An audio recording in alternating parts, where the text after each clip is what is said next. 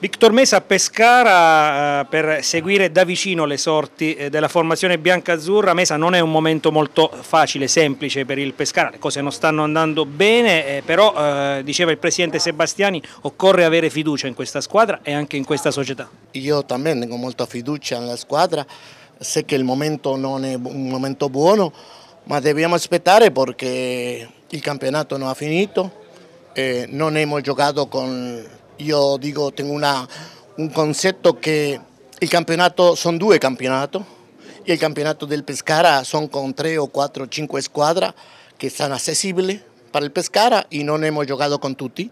Eh, quando finita la prima volta possiamo parlare più tranquillo e dobbiamo aspettare con fiducia. Questo è lo che posso dire. C'è una vera e propria emergenza infortuni in vista della gara di Roma, praticamente c'è solo un difensore eh, di ruolo inorganico, partita difficilissima eh, all'Olimpico, si cercherà eh, comunque il miracolo. Sì, la partita dell'Olimpico è difficile come fu la partita con la Juve, molto difficile e con, sono tutta questa squadra che tiene un ingresso molto milionario e non possiamo eh, competere con questa squadra.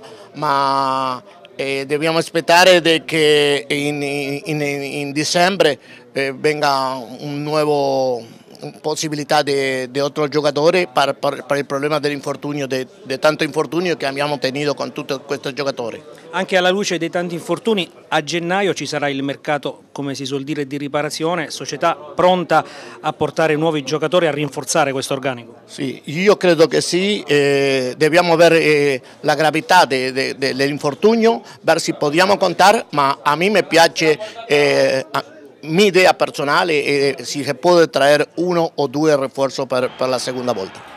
Lei conosce molto bene il mercato del Sud America, il direttore sportivo Leone è proprio in Sud America in queste ore. State trovando il nuovo Torreira per il Pescara o comunque qualche giocatore che possa avere un rendimento come lo ha avuto Torreira l'anno scorso? Eh, Torreira bene, mi allegro molto per lui. Eh, Luca está en Sudamérica y estamos parlando tutto il giorno per la possibilità di, altri giocatori.